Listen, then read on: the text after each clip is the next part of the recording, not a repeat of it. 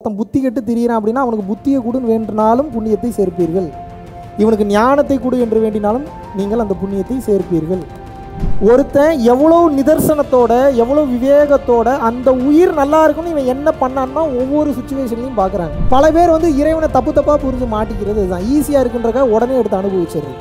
உள்ளே போனா ஐயோ இழுக்குது. உள்ளுக்குள்ளே போனா டிசைன் டிசைனா டிசைன் டிசைனா கலர் கலராக அழகு என்ன கலர் கலரான பொருட்கள் என்ன உணவு என்ன அவ்வளோ இருக்குது புண்ணிய செயல்கள் அதிகமாக செய்யும் போது ரோட்டில் போகிற ஏதோ ஒரு நல்ல ஆன்மாவே உங்களுக்கு ஏதோ ஒரு ஹெல்ப் பண்ணிட்டு போயிடும் உங்களுக்கு வேணுங்கிற ஹெல்ப்லாம் என்ன? பணம் காசு பேரு புகழ் வசதி அப்புறம்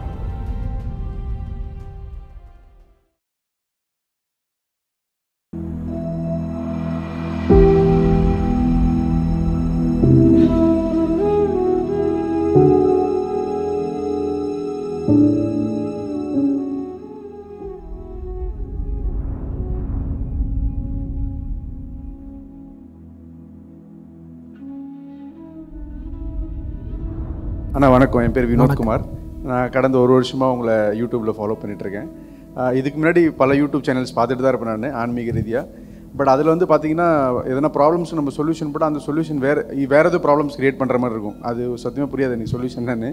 அதுக்கப்புறம் உங்களை வீடியோஸ்லாம் பார்க்கும்போது கரெக்டாக பார்த்தீங்கன்னா நான் என்ன நினைக்கிறேனோ அந்த வீடியோஸ் கரெக்டாக அந்த யூடியூப்பில் அப்லோட் ஆகிட்டே இருக்கும். அது எனக்கே அது லிங்க் ஆகிற மாதிரி இருந்துச்சு. என்னன்னு புரியல. அதுக்கப்புறம் அந்த அதுக்கப்புறம் நீங்கள் கொடுக்குற எக்ஸ்பிளேஷன்ஸ்லாம் ரொம்ப ஒரு ப்ராக்டிக்கலாகவும் இருந்தது ரொம்ப ஈஸியாக புரிகிற மாதிரி இருந்தது. அது ஆன்மீகத்தோட கனெக்ட் ஆகி ரொம்ப ஈஸியாக இருந்தது. அதுக்கப்புறம் அதை ஃபாலோ பண்ண ஆரம்பித்தேன் ஸோ அப்படி தான் இதுவாச்சு மற்ற ஆர்கனைசேஷன்ஸ்லாம் ஃபாலோ பண்ணும்போது எப்படின்னா அவங்க வந்து தொண்டர்கள் உருவாக்கிட்டு இருந்தாங்க. பட் நீங்கள் என்னென்னா குருவே குருவகளே உருவா உருவாக்கிட்டு இருக்கீங்க அது ஒரு நல்ல விஷயம். ஸோ அது ரெகுலராக ப்ராக்டிஸ் பண்ணுங்க. நன்றி நன்றி. நிறைய சம்பவங்களை கொண்டு வந்து கண் முன்னே நிப்பாட்டும். அப்போ நீங்கள் என்ன பண்ணணும்னா நீங்கள் சொல்கிறீங்களா புண்ணியத்தை எப்படி சம்பாதிக்கிறேன் இப்படி வேண்டினீங்கனாவே புண்ணியத்தை சம்பாதிச்சிருவீங்க. எத்தனை டைம் இறந்ததுக்கு மட்டும் இல்லை ஒரு உயிர் நல்லா இருக்கணுன்றதுக்காகவும் ஒருத்தன் புத்தி கெட்டு திரியிறான் அப்படின்னா அவனுக்கு புத்தியை கொடுன்னு வேண்டினாலும் புண்ணியத்தை சேர்ப்பீர்கள். இவனுக்கு ஞானத்தை கொடு என்று வேண்டினாலும் நீங்கள் அந்த புண்ணியத்தை சேர்ப்பீர்கள். இந்த உயிருக்கு தெளிவை கொடு இதுக்கு நல்ல சாப்பாட்டை கொடு நல்ல பொருளாதாரத்தை கொடுன்னு எத்தனை டைம் நம்ம வேண்டியிருக்கோம்? ஒரு டைம் கூட வேண்டியிருப்போமா நம்ம? யூனிஃபார்ம் மாதிரி அவனா செத்தா யூ நம்ம வந்து ஸ்கூலில் நின்று அமைதியாக மௌன மௌன அஞ்சலி செலுத்துறதோட முடிஞ்சு போச்சு.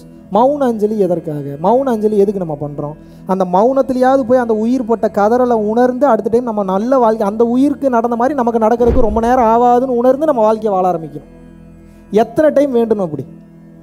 நீங்கள் இந்த பயிற்சி பண்ண பண்ண வேண்டிங்கன்னா அப்படியே நடக்கும். யாருக்கு வேண்டிங்கனாலும் நடக்கும் தான் பெரிய ரகசியம். மைண்டில் வச்சுக்கோங்க. புரியுதா நான் சொல்கிறது எப்பயுமே கொஞ்சம் அடுத்தவங்களுக்காக வேண்டி பழகுங்க. வேண்டுனா ப்ரேயர் வில் மேக் மிராக்கிள்ஸ் நீங்கள் கே நீங்கள் வேண்டது எவனும் கேட்கலன்னு நினைக்காதீங்க. எல்லாரும் கேட்டுக்கிட்டு இருக்காங்க. பக்கத்துலேயே எனக்கு வாட்ச் பண்ணிகிட்டு இருக்காங்க.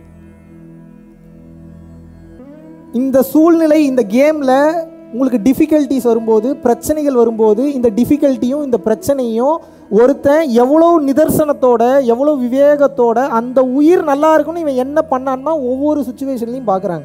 நம்ம என்ன பண்ணுறோம் நம்மளே சோத்துக்கு பிச்சை எடுத்துகிட்டு இருக்கும்போது இன்னொருத்தன் காசு பத்து லட்ச ரூபா நம்ம அக்கௌண்ட்டில் கிரெடிட் ஆகும்போது பத்து லட்சம் எடுத்துகிட்டு அவன் நம்பரையும் பிளாக் பண்ணிடுறோம். உங்களை சொல்லலை இப்படி ஒருத்தர் இருக்கான் எனக்கு தெரிஞ்ச ஒருத்தர் தான் இப்படிலாம் நடக்குது நிறைய இடத்துல.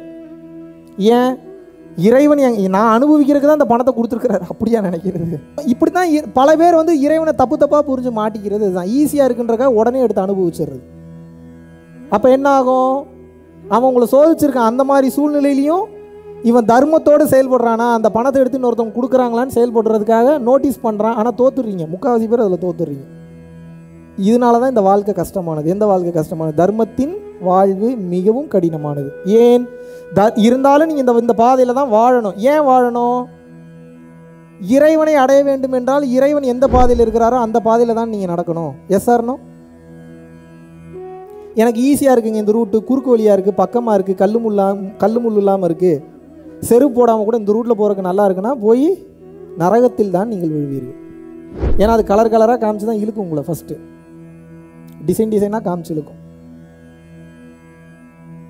ஒருத்தன் செத்து மேலே போகிறானா போனோடனே லெஃப்ட் சைடு சொர்க்கம் இருக்கான் ரைட் சைடு நரகம் இருக்கான். சொர்க்கத்தை பார்த்தா வெளியில் கேவல கேவலமான உருவம் என்னடா சொர்க்கம் நாங்கள் இவ்வளோ கேவலமாக இருக்குது?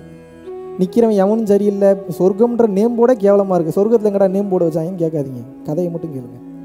பார்க்குறான். இந்த பக்கம் ரைட்டில் திரும்புகிறான் நரகம்னு அழகாக எழுதியிருக்கானுங்க. அடடடடடா நான்கு ஐந்து பணிப்பெண்களுக்கு மேலே முன்னாடி நிற்கிறாங்க வாங்க வாங்க. வெல்கம் வெல்கம் அப்படின்றாங்க. உள்ளே போனால் ஐயோ இழுக்குது. உள்ளுக்குள்ளே போனால் டிசைன் டிசைனா டிசைன் டிசைனா கலர் கலராக அழகு என்ன கலர் கலரான பொருட்கள் என்ன உணவு என்ன அவ்வளோ இருக்குது அப்போ தான் இவனுக்கு ஒரு உண்மை தெரிய வருது. ஆஹா கீழே இவ்வளோ நாள் சொர்க்கத்தை தான் நரகம்னு சொல்லியிருக்காங்க. நரகத்தை தான் சொர்க்கம்னு சொல்லியிருக்காங்க. இந்த முட்டா புயலுங்களுக்கு தெரியலன்ட்டு உள்ளே பூந்துட்டான் உள்ளே பூந்தானே வாடா அப்போன்னு சொல்லி கலரு சேஞ்சு பூரா மாற பூரா பேய் பிசாசாக மாறுது. இப்போ நீங்கள் இதில் என்ன தெரிஞ்சுக்கணும் அப்படின்னா பெரிய தத்துவத்து விளக்கத்துக்கெலாம் இதுக்குள்ளெல்லாம் போகாதீங்க. நரகம் எப்பயும் பார்க்க கலர்ஃபுல்லாக இருக்கும். எப்படி இருக்கும்? கலர்ஃபுல்லாக இருக்கும். சூப்பராக இருக்கும். அனுபவிக்கணும்னு தோணும். உடனே கைப்பற்றிடணும்னு தோணும்.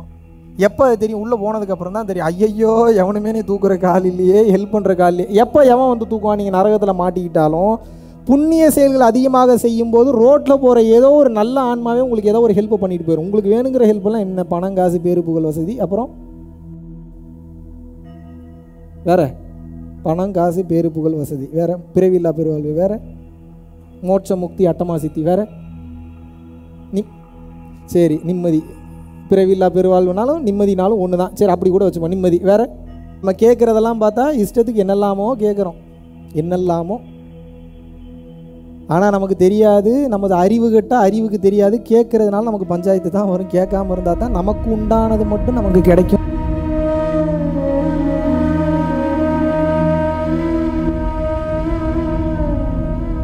பரம்பொருளின் கருணையினால உங்களுடைய இடைவிடாத அன்னதானத்திற்கு நீங்கள் அனுப்பப்பட்ட பணத்தின் மூலியமாக பல லட்சம் உயிர்களுக்கு இது நாள் வரைக்கும் வந்து சாப்பாடு கொடுத்துருக்கோம். ஸோ கொரோனாலேருந்து ஆரம்பித்து ஒரு நாள் கூட விடாமல் பல உயிர்களுக்கு வஸ்திர தானங்களாக இருக்கட்டும் படிக்க முடியாதவங்களுக்கு கல்வித்தொகை கட்ட முடிய விஷயங்களாக இருக்கட்டும் இல்லை ஸ்போர்ட்ஸ் ரீதியாக விளையாடக்கூடிய நல்ல மாணவர்களை அனுப்பி வைக்கக்கூடிய விஷயங்களாக இருக்கட்டும்.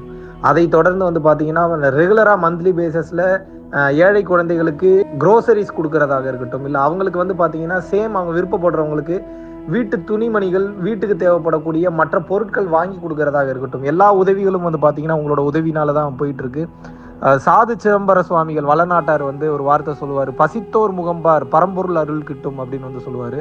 வள்ளல் பெருமானும் ஜீவகாருண்யம் உள்ள சம்சாரிகளுக்கு எப்பேற்பட்ட சூழ்நிலையிலும் வந்து பார்த்தீங்கன்னா அவங்களோட லாபம் தடைபடாது தொழில் பிரச்சனைகள் வந்து நிவர்த்தியாகும். அதை தொடர்ந்து வந்து வாழ்க்கையில் குடும்ப பிரச்சனைகள் விலகும். அதுபோக குழந்தை சம்பந்தமான பிரச்சனைகள் எதுவாக இருந்தாலும் வந்து இந்த அன்னதானத்திற்காக நீங்கள் செய்யக்கூடிய ஒவ்வொரு ரூபாயும் அது வந்து உங்களுக்கு நிச்சயமாக புண்ணியமாக வந்து சேரும்.